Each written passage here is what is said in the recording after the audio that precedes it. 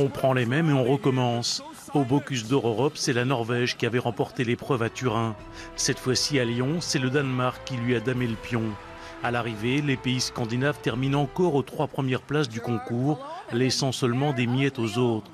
La France du Mosellan Mathieu Otto finit sixième. Le prix de la meilleure assiette est une petite consolation pour le cuisinier de l'auberge Saint-Valfried de Sarreguemines. On a fait une superbe aventure, on a vraiment vécu des moments qui sont très forts, riches en rencontres, et tous ces chefs qui sont là derrière nous. Oui, bien sûr, forcément, quand on fait une compétition, on s'engage à gagner. Mais bon, au coin de notre tête, on sait toujours que ben, la défaite est possible. Mais je veux dire, voilà, aujourd'hui, on a fait ce qu'on voulait faire, on, a on est sorti dans les temps, on a vraiment créé de l'émotion en sortant nos plats. Et euh, ce qui était très important pour moi aujourd'hui, c'était bah, de sentir euh, les supporters français être présents et venir vraiment encourager la France. C'est une Coupe du Monde.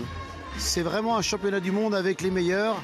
Et déjà d'être dans le top 6, c'est déjà important.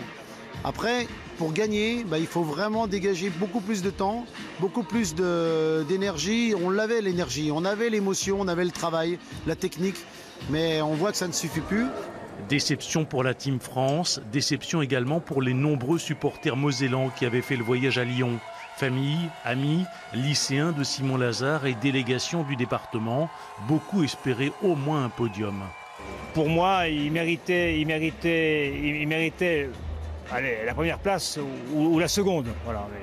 Mais, effectivement, ils sont battus comme des lions. Euh, on est fiers, la Moselle est fière d'avoir euh, des cuisiniers. Euh, de l'excellence et effectivement euh, la Moselle a remporté la France aujourd'hui et nous étions présents à ses côtés. Malgré ce résultat en demi-teinte, Mathieu Otto a été découvert par le grand public et s'est fait un nom dans la gastronomie française. On voudrait remercier